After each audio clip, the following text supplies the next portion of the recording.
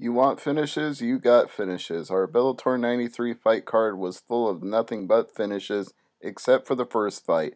Waachim Spiritwolf and Marcus the Irish Hand Grenade Davis ended in a no contest due to an accidental knee to the groin by the hand grenade. Spirit Wolf oversold this to an almost comical degree. He writhed around, he crawled around on his knees.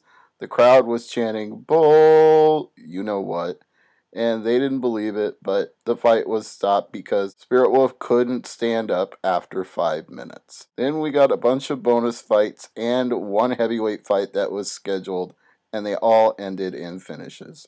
Michael Page knocked out Ryan Sanders, the hometown favorite from Bangor, Maine, just 10 seconds into their welterweight bout with a very unorthodox right hand. Jason Butcher tapped out Jack Hermansson at 224 of the first round via triangle choke Hermansson fought and fought to get out of it, nearly did at the two minute mark, but Butcher repositioned and was able to finish him and get the tap.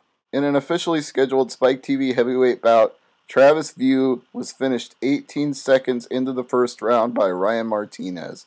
Martinez threw eight strikes, only landed four of them, but four were all he needed. It started with a left hand over the top, and everything else after that was academic. Then we go to more bonus fight action.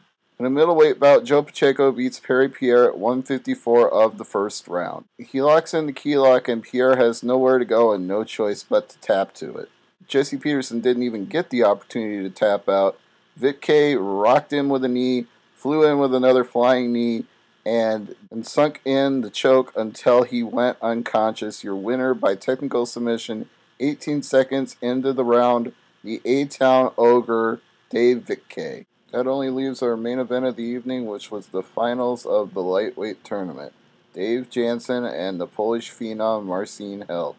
Held actually won the first round with striking, which was unusual for him. He usually goes for nothing but submissions, but he showed a very improved striking game in the first round. The second round was more of Held's usual MO. He was going for knee bars, arm bars, toe holds, anything he could get a hold of, and Jansen would wind up on top when the submission wouldn't work and then would pound on Held.